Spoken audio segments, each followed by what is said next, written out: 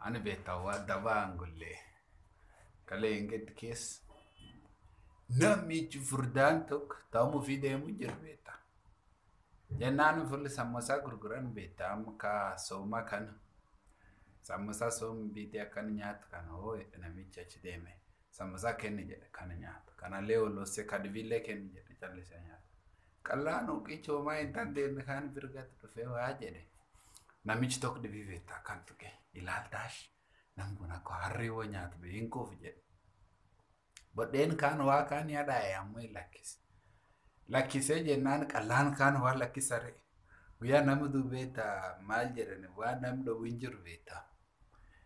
Kaa dhibilleen dhufee jennaan waa jedhe nam furdaa sun laala ammallee sammusa dhibii nyaata ammallee sammusa dhibillee hin gaafate jedhe. An akkanuma ilaali nam kun lakkisee hoo nam kun lakkisee hoo. Namichi furdaan kun hoo nam kan qabate dhomoskee ijjeesbe. Ammoo hin lakkise nam kun callisee lakkise.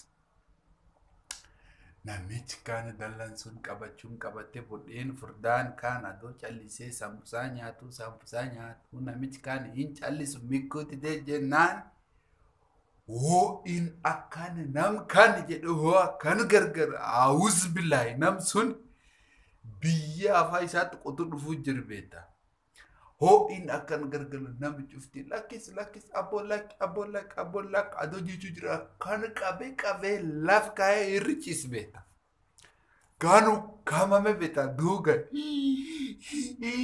yaal jedhee diddiitatte danfaan hin muxururaa akkana keessaa yaasibe.